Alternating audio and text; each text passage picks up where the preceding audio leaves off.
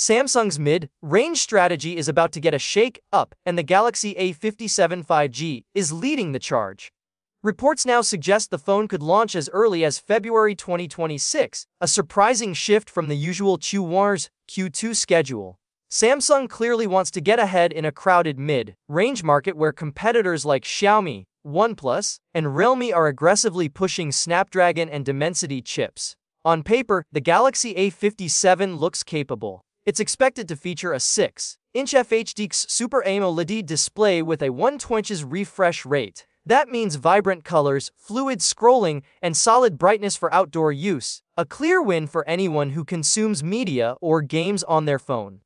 Under the hood, Samsung is reportedly using the Exynos 1680 chipset paired with the Xclipse 550 GPU based on AMD graphics. Coupled with up to 12 GB of RAM and 256 GB of storage, the A57 should handle multitasking, gaming, and everyday apps with ease, though whether it matches Snapdragon or Dimensity performance remains to be seen. Battery performance also looks promising. The Galaxy A57 is rumored to pack a 5000 mAh battery with 45EW wired fast charging, faster than Samsung's current S26 series. That could mean full day usage even for heavy users and a rapid top, up when you're in a hurry. Add an IP67 rating for water and dust resistance and a slim 7 4 modern body, and you get a durable, stylish package that still feels premium.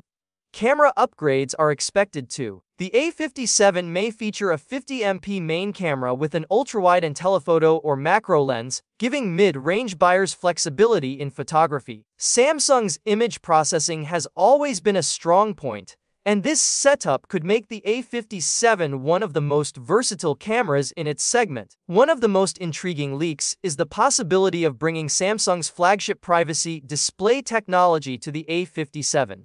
First introduced with the S26 series, this screen reduces side angle visibility by adjusting pixels dynamically, protecting sensitive information in public.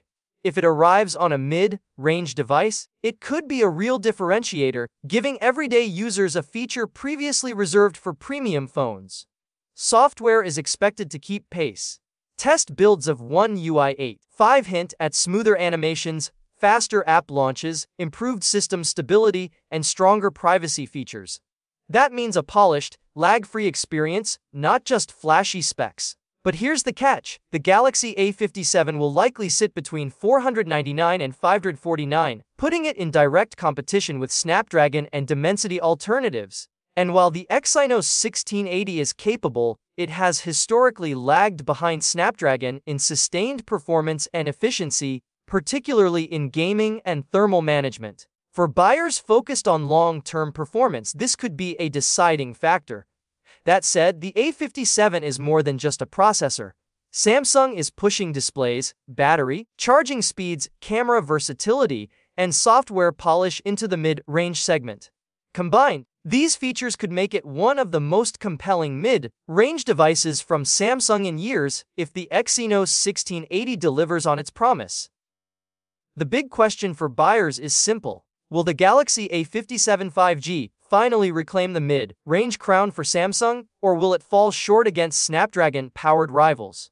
Personally, I think the phone has the potential to impress, but the processor will make or break the experience. What do you think? Are you excited about the Galaxy A57's features, or are you worried about performance? Drop your thoughts in the comments.